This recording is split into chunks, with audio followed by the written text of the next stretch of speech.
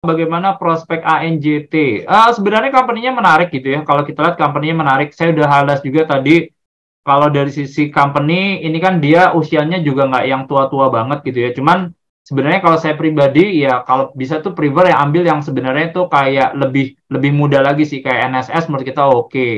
Tiap PG menurut kita oke okay, gitu. Karena kalau misalnya mereka 13 sampai 14 tahun maksudnya udah kayak uh, production peak-nya aja kalau buat ANJT.